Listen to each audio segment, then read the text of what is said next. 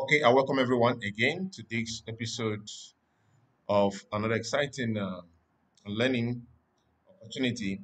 Okay, let's go. My name is Manfosi Gideon. Uh, please kindly subscribe, share most of our videos, encourage us on our YouTube channels. Um, today we're looking at in a very fast note or tilt derivatives. Now the usefulness, the the importance of this uh, filter in magnetic data interpretation.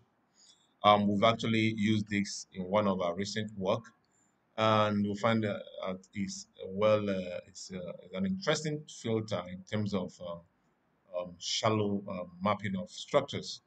Uh, this you're going to be looking at introduction. This contains introduction, um, the understanding of tilt derivatives, the significance of this, then the relevance in mineral exploration and the case study where we've actually used this in lithium exploration, actually to map the pegmatites. Then we'll be concluding and showing you also some reference, some references. So as we just said, um, the exploration of subsurface structures actually um, and the mineral resources is very important when it comes to, you know, um, geological and geophysical investigation. And among all other tools, um, this has become very interesting in the sense that it can actually um, uh, be very much effective in mapping shallow basement structures and also um, identifying some distinct, um, uh, some distinctive uh, um, anomalies, you know, in mineral exploration. Also, when this is actually used in conjunction with total um, horizontal derivatives, it provides a very crucial insight into how well the distribution of magnetic intensity are. And also, it can help you in identification and delineation of every other subsurface uh, geological structures. Then, if you look at this, um, when talking about T derivative, it is actually computed uh, using the first vertical and total horizontal derivatives. If you are using uh, Oasis montaj, you understand what I'm saying, and it is sure the one of the major components of that application. So if you want to compute your tilt derivatives, it just um, is defined as uh, the rate of change of the total magnetic intensity with respect to the vertical coordinates, that is the vertical, that is the z, um, depth. Why also the total horizontal derivatives, which is the THDR, is, is, is calculated at the square root of, of the sum of the square of the rate of the change of all the total magnetic intensity with respect to your x and y. So mathematically, you can say that it is obtained through arctangent of the ratios of the first vertical derivatives to the total horizontal derivatives. So that is just the fields. Then in terms of its significance, it is very, very significant in mapping shallow basement structures. We've tried this and we find out that it's very significant and most of the time it delineates the boundaries as very clear as any other thing. So when it comes to shallow basement structures, it often plays a very vital role in geological characteristics of that area. And also you can utilize it, you know, to get an insight in different variations of magnetic intensity that actually cause as a result of shallow um, uh, structures. Also, this can be used in identifying subtle changes in magnetic field, especially when it's caused by shallow basement structures.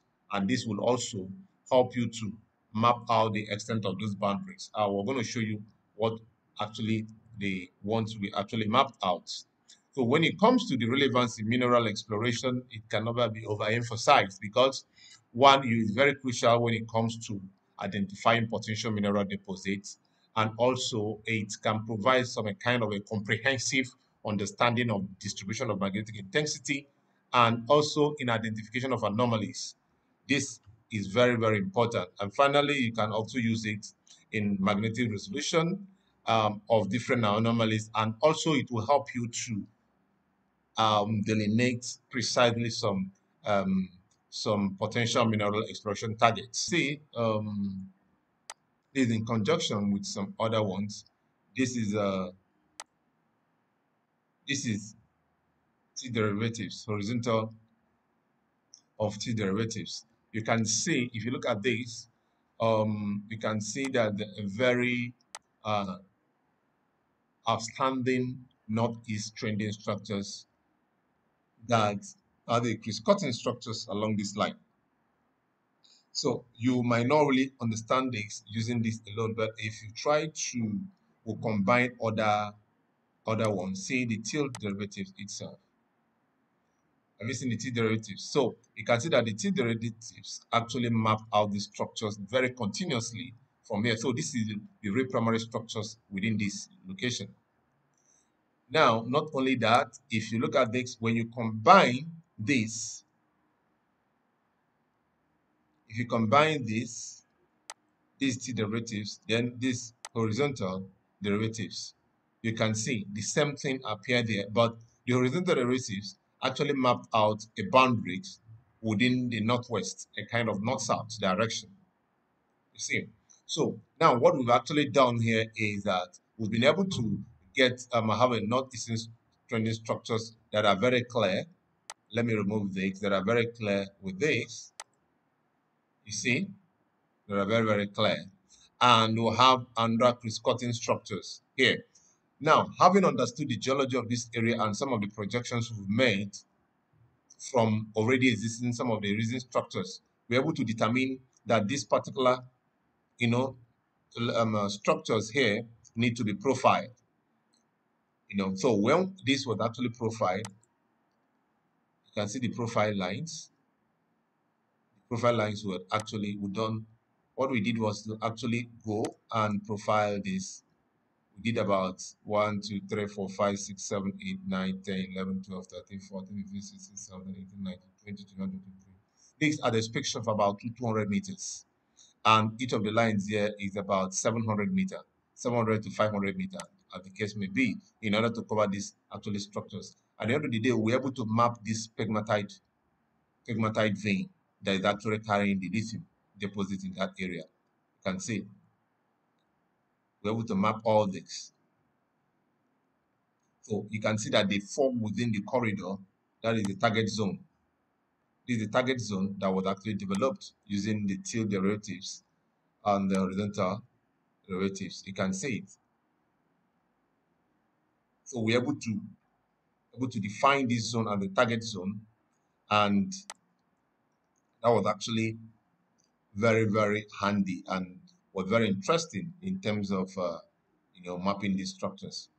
So that is just what the the significance and some of the importance of this filter. So I think it's something that you can always use whenever you want to map some shallow um, basement structures. I think it's something that you one can actually use when it comes to the application of tilt derivatives in conjunction with the total horizontal derivatives. It serves as a valuable tool in mapping shallow basement structures and identifying potential mineral exploration target, just as we've just done in that uh, location. So by leveraging the, the TDR and its associated derivatives, one can obtain a comprehensive understanding of the subsurface geological features. And also, this will actually help you to make some informed decision. Then when you now go to ground truthing, you'll be able to get um, your profile lines, get to understand um, the kind of um, structures that are actually in that location and that is actually handy in you know in minerals. So don't actually um forget to subscribe once again. You have to share so that will keep bringing you this, and we'll have some also some relevant uh, references in terms of uh, this uh, topic. You can check the Miller HG and Singh. Um, you can also check the that of uh, Thurston. Um, that is 1997 a few. These are just some, some few references, and you can check some other um, a lot of other things. And also Smalltalk also as an application. They're very interesting and reference. So, guys.